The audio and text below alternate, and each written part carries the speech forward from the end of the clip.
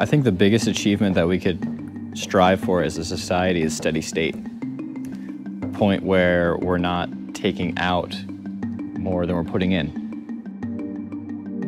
Ask yourself not what would be better, but ask yourself what would be ideal.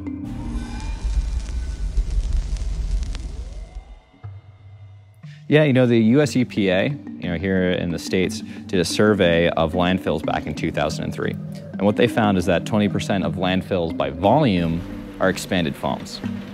Now that's huge. You know, normally you don't hear about that because everything's measured by mass. These materials don't weigh anything. They're mostly just fossil fuels and air, right?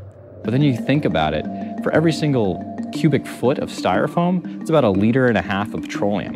And that's energy that's well suited to heat our homes or fuel our cars, not for throwing it right in a landfill. The scenario we want to avoid is runaway, right? Suddenly you have a, hit a tipping point and things get really bad really fast and it's too late. And for us, um, we don't want to make this technology adopted because people see it as a real environmental need.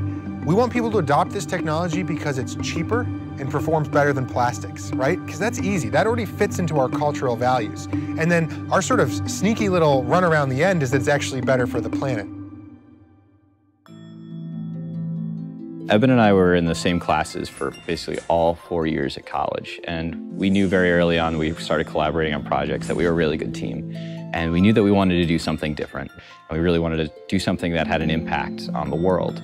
And when Eben first brought this insight to the table about you know, using fungal mycelium or this biology as a grown glue, that was amazing. It was really changing the paradigm on how we use materials today.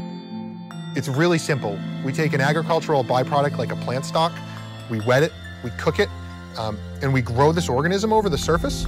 Um, and then we'll take a whole bunch of those and we'll squish them into a shape. And then that organism continues to grow and digest the, the plant husk and creates this complex network around it, binding it together. It essentially becomes a cohesive whole. And all you have to do when you're done with it is dry it out.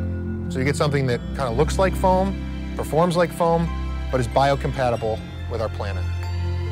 It was like, wow, if we can do that, we can make a, a building installation. We can make a molded packaging part. You know, you can make, you can make almost any kind of physical material.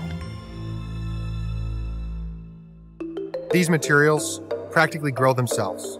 They're fire retardant, they're self-healing, compostable, and our vision is to replace disposable plastics across, across industries and across applications. This isn't an old science. This isn't something that people have been doing for centuries. This is something that we've been doing for five years, and the possibilities are really endless.